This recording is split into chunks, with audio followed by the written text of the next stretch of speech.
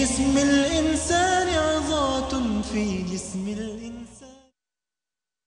السلام عليكم ورحمته تعالى وبركاته. أحبتي في الله أهلا بكم في هذا اللقاء المتجدد ومع حلقة جديدة حول أسرار الأرقام في جسم الإنسان. نلتقي بالعين بحاسة البصر بنعمة الإبصار. وقلنا في الحلقة السابقة نعيد القول بأن العلم لابد أن يكون في خدمة العقيدة لأنه ما خلق الله السماوات والأرض وما أنزل الله الكتب وما أرسل الله الرسل وما أقام سوق الجهاد وما أقام الجنة والنار وما انقسم الناس إلى مؤمنين وكفار وإلى أبرار وفجار إلا من أجل هذه العقيدة. فالعلم التجريبي واحد من فنون كثيرة من فنون الحياة الدنيا لابد أن يكون في خدمة هذه العقيدة. أما أن يكون مقطوع الصلة آه، كما في مناهجنا أو كتبنا أو مراجعنا تماما عن ذكر أن الله هو الخالق أن الله هو المدبر وهذا الذي نحاوله بمشيئة الله عز وجل بمن- بمنة الله علينا بنعمة الله علينا من خلال هذا البرنامج وغيره أن نركز على قضايا التوحيد من خلال العلم التجريبي الذي تعلمناه في العين الواحدة 140 مليون مستقبل حساس للضوء وهي تسمى كما قلت مقاريط وعصي. طبقة المقاريط والعصي واحدة من الطبقات العشرة التي تشكل شبكية العين والتي يبلغ سمكها بطبقاتها العشر 4 من 10 ملم يعني طبقة الشبكية بالعشر طبقات أو الشبكية بالعشر طبقات 4 من 10 ملم طبقة من هذه الطبقات فيها 140 مليون مستقبل حساس للضوء. شفتوا إبداع إزاي اتحطت ديت؟ إزاي ترتبت هذا هو صنع الله. صنع الله الذي أتقن كل شيء. إنه خبير بما تصنعون. وبعدين عرضنا الصورة دي برضو نعرضها كمان مرة. حتى الخلايا المستقبلة للضوء بتركيب تشريحي عجيب جدا. يعني في نواة وفيه آه يعني ليف خارجي وفيه آه حاجة اسمها ال ellipsoid cilium يعني حاجة زي الأهداب كده. وفيه ال discs يعني اللي هي القواعد.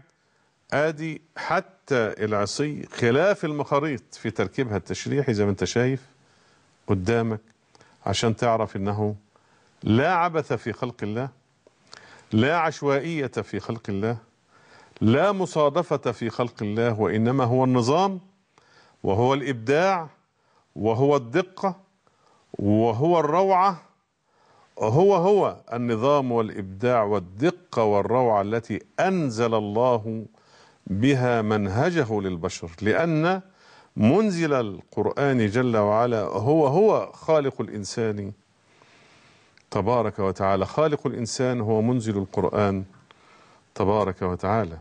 ودي صورة مجهرية للخلايا اللي هي اتكبرت 250 ألف مرة بالمجهر الإلكتروني زي ما قلنا في الحلقة السابقة. وآدي الكونز اللي هي تحت ديت اللي هي المخاريط الصغيرة إنما العصيان واقفة هيت. لأن دي شبه المخروط وده شبه العصاية. ده لا مهمة وده لا مهمة مش وقتها الوقت عشان نقول وظيفة المخاريط إيه ووظيفة العصيان إيه. المخاريط بقى برضو شريحة. الطول طول ال- المخروط 85 مايكرون يعني إيه مايكرون على فكرة؟ يعني المتر 100 سنتيمتر خلي بالك. السنتيمتر 10 مليمتر. المل- المليمتر 1000 مايكرون شفت ال شفت الأرقام. السنتيمتر 10 مليمتر. المتر 100 م- 100 سنتي. المتر 100 سنتي. السنتي 10 مليمتر. المليمتر الواحد 1000 مايكرون طول المخروط 85 مايكرون بس. شوف الدقة يعني. شوف الدقة والصغر. 85 مايكرون اللي هو 1000 مايكرون عبارة عن مليمتر بس. ده 85 مايكرون وبعدين 85 مط- مايكرون فوق. في المحيط يوصل ل 45 مايكرون ويشبه قنينة الماء زي ما أنا عرضت الصورة اللي فاتت. زي القنينة كده. له مخنق في النص كده وفوق واسع شوية. وسعه فوق طوله 85 مايكرون في المحيط 45 مايكرون قلت إن الميكرون واحد على ألف من المليمتر. وله قطعتين قطعة خارجية وقطعة داخلية. يعني المخروط اللي هو بهذه الدقة اللي منه هو والعصيان 140 مليون في طبقة واحدة من الشبكية اللي هي كلها أربعة من عشرة مليمتر. آه، كيف رتبت هذه الخلايا؟ كيف نظمت في هذا الحيز البالغ الدقة؟ سبحان من أعطى كل شيء خلقه ثم هدى. نعرض اللي بعدها. العصي يبلغ أقصى طول لها بالقطب الخلفي 60 ميكرون. قلنا الميكرون واحد على ألف من المليمتر. وأتناقص ليصل بخط الاستواء إلى 50 ميكرون وبالحافة المشرشرة للشبكية 40 ميكرون والثخانة حوالي واحد ميكرون سبحانك. واحد ميكرون سبحانك يا رب. يعني برضو بيوصفوا آه، التركيب التشريحي وطوله وعرضه للمخاريط والعصي اللي هي 140 مليون. في طبقة من طبقات الشبكية العشرة. عايز دايما أكرر وأعود وأقول لأن ذكر الله يتطلب هذا. ذكر الله يتطلب أن تعيد الأرقام وأن تزيد في الكلام كي يستقر عقيدة في القلب أن الله هو الخالق البارئ المصور. له الأسماء الحسنى يسبح له ما في السماوات والأرض وهو العزيز الحكيم. الصورة اللي هي آه، يعني قطاع طولي كده. برضو بنفس ال- المفهوم. عايز بس أبين دقة خلق الله وعظمة خلق الله عز وجل. طيب في صورة بعدها. القرص الأسود ده خلي بالك. القرص الأسود الذي يبدو في الصورة هو العصب البصري. الذي ينقل الصورة التي تشاهدها الآن بعينك إلى المخ في صورة إشارات كهربائية. أما لماذا يبدو أسود العصب البصري؟ لأنه على الرغم أنه حلقة الوصل بين الشبكية والمخ لنقل الصورة إلا أنه في حد ذاته بقعة عمياء لا تحتوي على خلايا استقبال ضوء. سبحانك. يعني العصب البصري لا يحتوي على خلايا استقبال ضوء ولذلك هو معتم.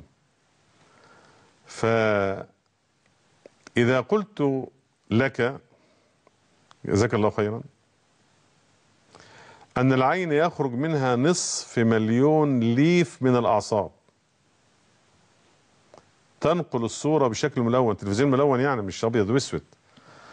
نصف مليون ليف من الأعصاب. وبعدين بنقلها طبعا بتكون مقلوبة وبتروح تتعدل في المخ. وإن شاء الله الحلقة انتهت فنلتقي بحضراتكم بمشيئة الله إن قدر الله لنا اللقاء والبقاء في حلقة الغد وحتى نلقاكم أستودع الله دينكم وأماناتكم وخواتيم أعمالكم. والسلام عليكم ورحمته تعالى وبركاته. سبحان الحي المنان من أبدع هذا الإنسان صوره في أجمل خلق ما أبهى صنع الرحمن. آيات للمولى فيها أسرار في كل أوان. في جسم الإنسان عظات في جسم الإنسان بيان. آيات للمولى فيها أسرار في كل أوان. في جسم الإنسان في جسم الإنسان بيان سبحان الحي المنان.